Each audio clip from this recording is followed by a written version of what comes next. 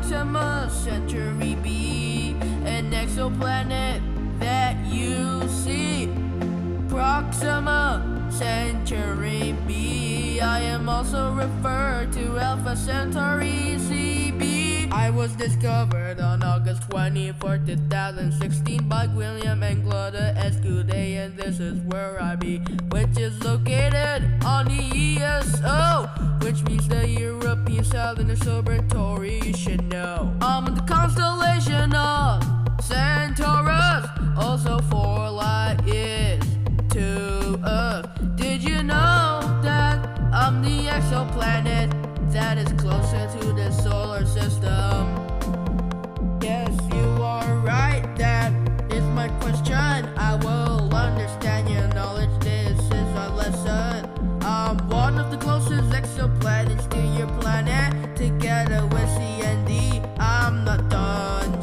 My size is 1.07 plus 0.26 Earth masses, which means I'm 1.7 bigger than Earth. You can see this class. What is my read radius? I will share 0.94 to 1.4 Earth radius. I P. I am Proxima Centauri b, an exoplanet that you see. Proxima Centauri I am also referred to Alpha Centauri CB. I am orbiting a host star that I say it goes by the name of Proxima Centauri. It is a red dwarf star that is fun, and if you're wondering, it is similar to your sun. I am located in the Goldilocks zone. It is a habitable place that you'll call home.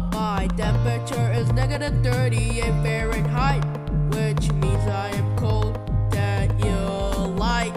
How many days do I rotate? I took 89 days to do this, no mistakes. I orbit a red dwarf star, you know this. 11 days, you see that you can't miss.